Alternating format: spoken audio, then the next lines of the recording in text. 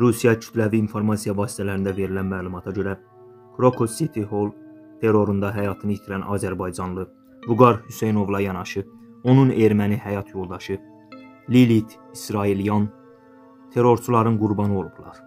Qeyd edək ki, onların 1 yaş yarımlıq övladı olan cütlük Vnukova hava limanında işləyirdilər.